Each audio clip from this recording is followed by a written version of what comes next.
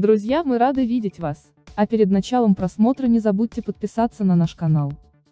На Никола-Архангельском кладбище Москвы простились с ведущим НТВ Александром Колтовым. Гроб с ним, по понятным причинам, был закрыт. Сейчас катастрофу, в которой погиб Колтовой, расследуют специальная комиссия и транспортная прокуратура. Но уже понятно, что Александр мужественно пытался найти площадку, куда посадить неуправляемый самолет, чтобы избежать падения на жилые дома и автомобили. Пилот до последнего старался увести самолет от жилых домов, дороги и линии электропередачи, хотя машина была уже малоуправляема, говорят эксперты по авиационной безопасности. Ведь в противном случае жертв могло быть намного больше. Смерть Колтового была страшной, ведь на борту начался пожар, а потом еще удар об землю. В первые минуты после трагедии помощь в тушении пожара оказывали водители, которые пришли на помощь из стоящих рядом машин. Они выбегали из автомобилей, пытаясь справиться с огнем с помощью своих огнетушителей. Не забудьте подписаться на наш канал, чтобы не пропускать свежие выпуски.